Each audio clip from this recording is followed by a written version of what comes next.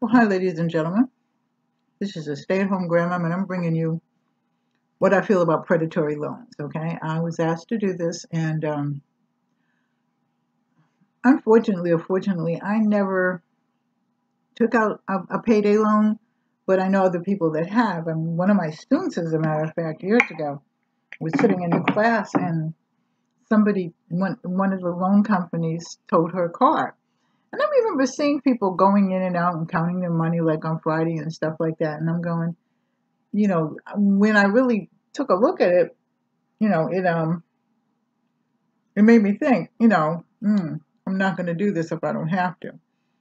And um, lots of times people would tell me, yeah, they charge you double and everything like that.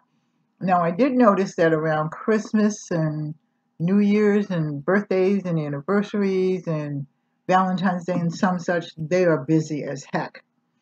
And so I guess my point is, you know, that there has to be a better way. Everybody needs a loan. Don't get me wrong. I mean, you know, if I needed, I would probably have gone to it. But, you know, for some reason or other, you know, I was just blessed. You know what I mean?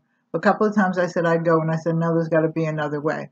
But, you know, it is predatory and it is very, very dangerous. And it you know, if you've got bad credit already, it can really ruin your credit. So I would be advised to try to maybe budget your money a little bit. I mean, I can't tell anybody what to do with your money, but like I said, there has to be some kind of better way and out of something. But that's my take on the predatory loans. I left the um, the article that you can read in the, the in the section, and I'll also put it in the comment section. So I love you. Take care. God bless.